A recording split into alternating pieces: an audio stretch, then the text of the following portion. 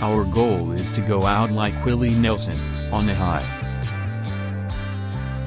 Taking on a challenge is a lot like riding a horse, isn't it?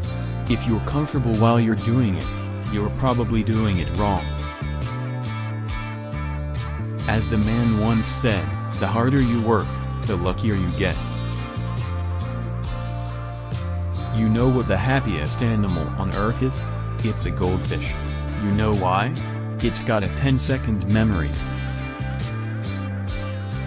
If the internet has taught us anything, it's that sometimes it's easier to speak our minds anonymously. If you care about someone, and you've got a little love in your heart, there ain't nothing you can't get through together. Your body is like day-old rice. If it ain't warmed up properly, something real bad could happen. I believe in communism.